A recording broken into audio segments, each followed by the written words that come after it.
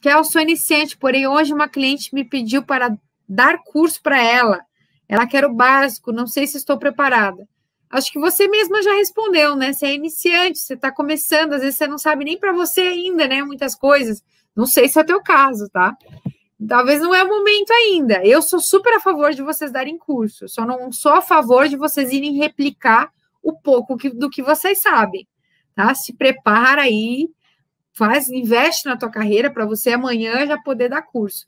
Eu sei que pode parecer meio tentador, né? Ah, eu vou dar curso.